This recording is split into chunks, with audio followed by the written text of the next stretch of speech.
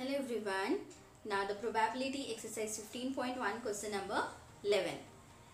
11 bags of wheat flour मतलब total number of bags कितने हैं 11. Each marked 5 kg actually contained the following weight of the flour in kgs. आपको 11 जो bags हैं उसका weightage दिया है like, एक में है 4.97 kg 5.05 kg like this it is given Find the probability that any of these bags chosen at random contains more than 5 kg.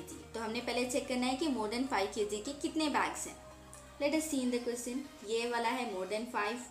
This is also more than 5. This is also more than 5.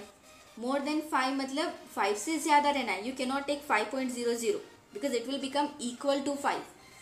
Then 5.06 is more 5.08 is also more than 5 this is also more than 5 this is also more than 5 so more than 5 कितने बार है आपका it is nothing but 1 2 3 4 5 6 and 7 so what the probability will become it's nothing but 7 by 11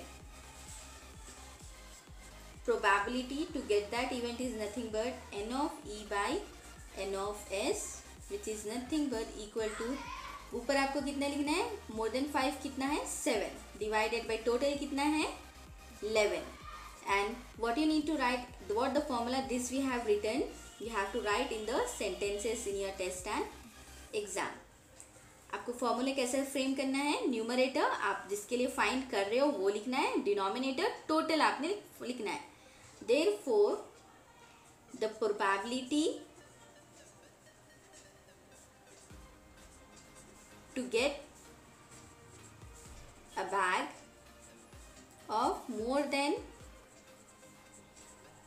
5 kg more than 5 kg of flour is nothing but 7 by 11 hope it is clear for you. If you are having any doubt you can ask in the comment section.